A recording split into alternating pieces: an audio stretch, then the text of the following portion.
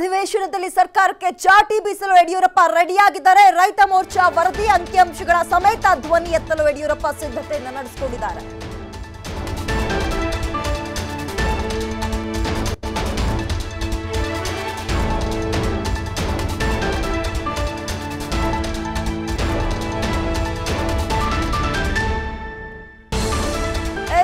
ಅಧಿವೇಶನದಲ್ಲಿ ಸರ್ಕಾರಕ್ಕೆ ಚಾಟಿ ಬೀಸಲು ಯಡಿಯೂರಪ್ಪ ರೆಡಿಯಾಗಿದ್ದಾರೆ. ರೈತ ಮೋರ್ಚಾ ವರದಿ ಮತ್ತು ಅಂಕಿಅಂಶಗಳ ಸಮೇತ ಧ್ವನಿಯನ್ನ ಎತ್ತೋದಕ್ಕೆ ಸಿದ್ಧತೆಯನ್ನ ಯಡಿಯೂರಪ್ಪ ಮಾಡಿಕೊಂಡಿದ್ದಾರೆ. ರಾಜ್ಯ ಬಿಜೆಪಿ ರೈತ ಮೋರ್ಚಾ ತಂಡಗಳ ಪ್ರವಾಸ ಇವತ್ತಿಗೆ ಅಂತ್ಯವಾಗಿದೆ. ಅಂಕಿಅಂಶಗಳ ಸಮೇತ ಮಾಹಿತಿಯನ್ನ ರೈತ ಮೋರ್ಚಾ ತಂಡಗಳು ಸಂಗ್ರಹಿಸಿವೆ. ಸದ್ಯದಲ್ಲೇ ವೈ ಕೈ ಅಂದ್ರೆ ಈ ಮೋರ್ಚಾ ತಂಡದ ವರದಿ ಸೇರ್ತವೆ. ಇನ್ನು ಜೂನ್ ಹದಿನೈದರಿಂದ ರಾಜ್ಯಾದ್ಯಂತ ಪ್ರವಾಸವನ್ನ ಟೀಮ್ ಹಮ್ಮಿಕೊಂಡಿತ್ತು. ಇದೀಗ ಇವತ್ತಿಗೆ ಆ ಒಂದು ಪ್ರವಾಸ ಅಂತ್ಯವಾಗಿದೆ. ಆದ ಕಾರಣ ಅಧಿವೇಶನದಲ್ಲಿ, ಮುಂಬರುವಂತಹ ಅಧಿವೇಶನದಲ್ಲಿ ಸರ್ಕಾರಕ್ಕೆ ಚಾಟಿ ಬೀಸಲು ಯಡಿಯೂರಪ್ಪ ಸಕಲ ರೀತಿಯಲ್ಲೂ ಕೂಡ ರೆಡಿಯಾಗಿದ್ದಾರೆ ರೈತ ಮೋರ್ಚಾ ವರದಿ ಮತ್ತು ಅಂಕಿಅಂಶಗಳ ಸಮೇತ ಧ್ವನಿ ಎತ್ತೋದಕ್ಕೆ ಸಿದ್ಧತೆಯನ್ನ ನಡೆಸಿಕೊಂಡಿದ್ದಾರೆ. ರಾಜ್ಯ ಬಿಜೆಪಿ ರೈತ ಮೋರ್ಚಾ ತಂಡಗಳ ಪ್ರವಾಸ ಇವತ್ತಿಗೆ ಅಂತ್ಯವಾಗಿರೋ ಹಿನ್ನೆಲೆಯಲ್ಲಿ ಅಂಕಿಅಂಶಗಳ ಸಮೇತ ಮಾಹಿತಿಯನ್ನ ರೈತ ಮೋರ್ಚಾ ತಂಡಗಳು ಸಂಗ್ರಹಿಸಿವೆ. ಸದ್ಯದ್ರಲ್ಲೇ ಬಿ ಎಸ್ ವೈ ಆ, ಎಲ್ಲ ಒಂದು ಅಂಶಗಳನ್ನ ಗಮನಿಸ್ತಾರೆ.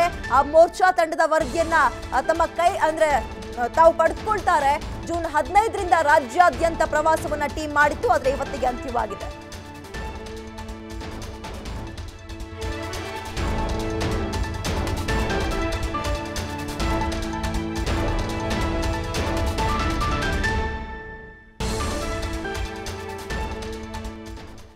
ಮತ್ತಷ್ಟು ಮಾಹಿತಿಯನ್ನ ನೀಡೋದಕ್ಕೆ ನಮ್ಮ ಪ್ರತಿನಿಧಿ ಪವನ್ ಲೈವಿಗೆ ಜಾಯ್ನ್ ಆಗ್ತಿದ್ದಾರೆ. ಪವನ್, ಈಗ ರೈತ ಮೋರ್ಚಾ ವರದಿ ಮತ್ತು ಅಂಕಿ ಅಂಶಗಳ ಸಮೇತ ಧ್ವನಿ ಎತ್ತೋದಕ್ಕೆ ಯಡಿಯೂರಪ್ಪ ಸಿದ್ಧತೆ ಮಾಡ್ಕೊಂಡಿದ್ದಾರೆ. ಆದ್ರೆ ರೈತ ಮೋರ್ಚಾ ವರದಿಯಲ್ಲಿ ಯಾವೆಲ್ಲ ಅಂಶಗಳು ಪ್ರಮುಖವಾಗಿ ಬೆಳಕಿಗೆ ಬರ್ತಾ ಇವೆ ಅಂತ?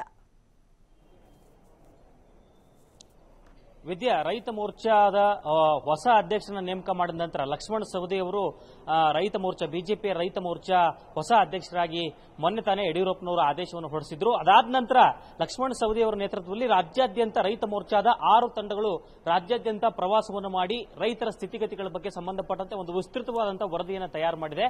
ಸದ್ಯದಲ್ಲೇ ಆ ಒಂದು ವರದಿ ಬಿಜೆಪಿ ರಾಜ್ಯಾಧ್ಯಕ್ಷ ಮತ್ತೆ ವಿಧಾನಸಭೆಯ ವಿರೋಧ ಪಕ್ಷದ ನಾಯಕರಾಗಿರುವಂತಹ ಯಡಿಯೂರಪ್ಪನವರ ಕೈಗೆ ಸಿಗುತ್ತೆ. ಆ ಒಂದು ವರದಿಗೆ ಸಂಬಂಧಪಟ್ಟಂತೆ ಸಂಪೂರ್ಣವಾಗಿ ಆ ವರದಿಯನ್ನು ಸ್ಟಡಿ ಮಾಡಿ ಯಡಿಯೂರಪ್ಪನವರು ಈ ಒಂದು ಅಧಿವೇಶನದಲ್ಲಿ ಧ್ವನಿ ಎತ್ತುವಂತ ಸಾಧ್ಯತೆಗಳಿದೆ.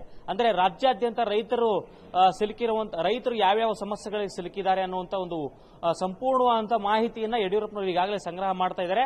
ಅದಕ್ಕೆ ಸಂಬಂಧಪಟ್ಟಂತೆ ಈಗಾಗಲೇ ಮತ್ತೆ ರೈತ ಮೋರ್ಚಾ ವರದಿ ನೀಡಿರೋದ್ರಿಂದ ಆ, ಅಧಿವೇಶನದಲ್ಲಿ ಅಂದ್ರೆ ಸದನದಲ್ಲಿ ಬಹಳ ದೊಡ್ಡ ಮಟ್ಟದ ದೊಡ್ಡ ಮಟ್ಟದಲ್ಲಿ ಈ ಒಂದು ಹೋರಾಟಗಳನ್ನು ಮಾಡಬೇಕು ಅನ್ನೋದ್ರಲ್ಲಿ ಯಡಿಯೂರಪ್ಪನವರು ನಿರ್ಧಾರ ಮಾಡಿದ್ದಾರೆ ಅನ್ನುವಂತ ಒಂದು ಮಾಹಿತಿ ಇದೆ.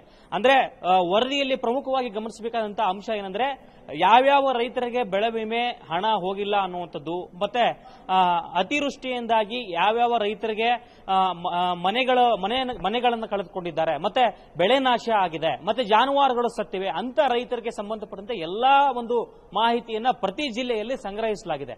ಮತ್ತೆ ಅದನ್ನು ಹೊರತುಪಡಿಸಿದರೆ, ಪ್ರಮುಖವಾಗಿ ಸಾಲ ಮನ್ನಾ ಮಾಡದೇ ಇರೋ ಕಾರಣಕ್ಕಾಗಿ ಇದುವರೆಗೂ ರೈತರಿಗೆ ಏನೇನು ಅನಾಹುತ ಆಗಿದೆ, ನಷ್ಟ ಆಗಿದೆ ಅನ್ನೋದ್ರ ಬಗ್ಗೆನೂ ಕೂಡ ಸಂಪೂರ್ಣವಾಗಿ ಮಾಹಿತಿಯನ್ನ ಸಂಗ್ರಹಿಸಲಾಗಿದೆ ಒಟ್ಟು ಆರು ತಂಡಗಳು ರಾಜ್ಯಾದ್ಯಂತ ಪ್ರವಾಸವನ್ನು ಮಾಡಿದ್ವು. ಮಧ್ಯ ಕರ್ನಾಟಕ, ಉತ್ತರ ಕರ್ನಾಟಕ, ದಕ್ಷಿಣ ಕರ್ನಾಟಕ ಈ- ರೀತಿಯಾಗಿ ಎಲ್ಲಾ ಕಡೆ ಪ್ರವಾಸವನ್ನು ಮಾಡಿ ಈಗ ಸಂಪೂರ್ಣವಾಗಿ ವರದಿಯನ್ನ ತಯಾರು ಮಾಡಿದೆ ಅನ್ನುವಂಥದ್ದಿದೆ. ಇದಕ್ಕೆ ಸಂಬಂಧಪಟ್ಟಂತೆ ಬಿಜೆಪಿಯ ಒಂದು ರೈತ ಮೋರ್ಚಾದ ಉಸ್ತುವಾರಿಯನ್ನು ನೋಡಿಕೊಳ್ತಾ ಇರುವಂತಹ ರಾಜ್ಯ ಬಿಜೆಪಿ ಪ್ರಧಾನ ಕಾರ್ಯದರ್ಶಿ ರವಿಕುಮಾರ್ ಅವರಿಗೆ ಒಂದು ಮೊದಲು ವರದಿಯನ್ನು ಸಬ್ಮಿಟ್ ಮಾಡಲಾಗುತ್ತೆ. ತದನಂತರ ರವಿಕುಮಾರ್ ಅವರು ಯಡಿಯೂರಪ್ಪನವರಿಗೆ ಆ ಒಂದು ವರದಿಯನ್ನು ರವಾನೆ ಮಾಡ್ತಾರೆ. ಈಗ ಸದ್ಯ ಜುಲೈ ಎರಡನೇ ತಾರೀಕಿಂದ ಅಧಿವೇಶನ ಆರಂಭವಾಗುವಂತ ಕಾರಣದಿಂದಾಗಿ ಎಲ್ಲ ಒಂದು ವರದಿಯನ್ನು ಇಟ್ಟುಕೊಂಡು ಆ ಒಂದು ವರದಿಯಲ್ಲಿರುವಂತಹ ಅಂಕಿಅಂಶಗಳ ಸಮೇತ ಅಧಿವೇಶನದಲ್ಲಿ ಯಡಿಯೂರಪ್ಪನವರು ಧ್ವನಿ ಎದ್ದುವಂತಹ ಸಾಧ್ಯತೆಗಳಿದೆ